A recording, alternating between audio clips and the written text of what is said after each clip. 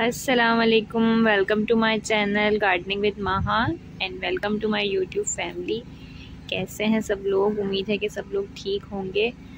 और कोरिएंडर हरा धनिया जो बिल्कुल हम लोग अपने घर में लगा सकते हैं ईज़िली वो मैंने आप लोगों को बिल्कुल अपनी वीडियो में सिखाया था। वो मैं वीडियो मैंने दो तना करके वीडियो डाली थी। एक सीड उसकी सीड जर्मिनेट कैसे होगा उसका और एक सीड जर्मिनेट होने के बाद जो वो उसके अंदर जो थोड़ा थोड़ा सा हरा धनिया निकला था जो उसने बिल्कुल अपनी ऊपर की तरफ़ आने लगा था तो मैंने उसकी भी वीडियो डाली। तो मैं दोनों वीडियोस डिस्क्रिप्शन में डाल दूँगी।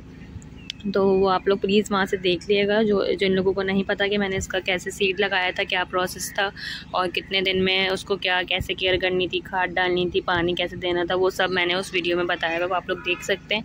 और आज बस मैं आप लोगों को यही दिखा रही हूँ कि बिल्कुल अब देखें मेरे पास ये हरा धनिया ग्रो हो गया है और ये देखें माशाला से केक ऐसा भर के माशाला से फुल पॉट के अंदर पूरा ही मैंने बड़े पॉट में लगाया था, ये आप देख सकते हैं।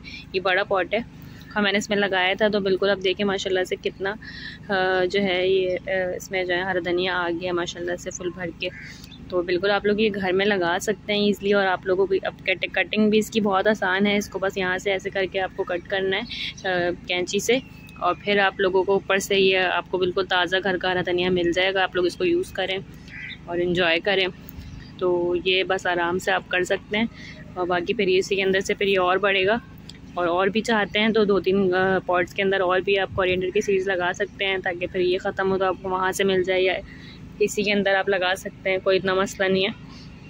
तो ये पूरा एक जो आज जो है, ये थ्री पार्ट के अंदर मैंने आप लोगों को धनिया लगाना सिखाया। आज ये मैं तीसरा पार्ट इसका अपलोड कर रही हूँ। इसी वजह से कि आप लोग अब देख देख लें रिज़ल्ट देख लें कि माशाल्लाह से कैसे रिज़ल्ट कितना ज़बरदस्त हरा धनिया लग रहा है। तो यही पूरा इसका प्रोसेस है और बिल्कुल आप लोग घर में लगाएँ। और बस जो लोग चैनल पर न्यू हैं, वो मेरे चैनल को सब्सक्राइब कर दें और पुरानी वीडियोस प्लीज़ देख लें, जिन लोगों को नहीं पता प्रोसेस और बस अपना दुआओं में बहुत सारा दुआओं में याद रखें, अपना बहुत सारा ख्याल रखें और इजाज़त दें, अल्लाह हाफिज़।